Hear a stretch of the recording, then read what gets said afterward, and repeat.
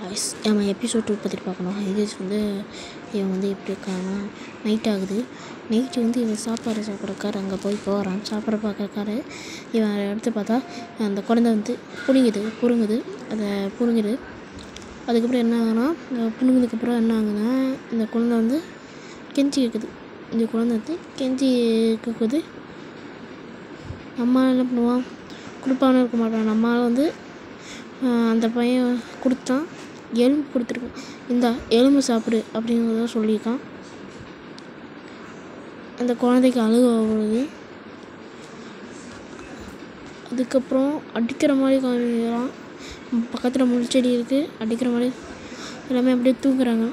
தூங்கி தூங்குறாங்க. இப்பாட்டுக்கு அப்படியே கண்ணை அசந்து தூங்கிடுறா. அப்படியே பார்த்தீங்கன்னா இவனுக்கு வந்து ஒரு ஐஸ் கட்டி நைட்டில் வந்து ஐஸ் கட்டி வந்து மீன் மீன் வந்திருக்கு.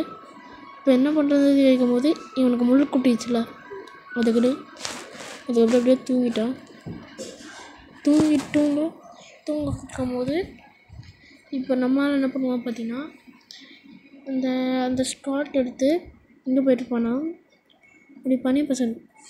அதில் போயிட்டு ஒரு நின்றுப்பான்.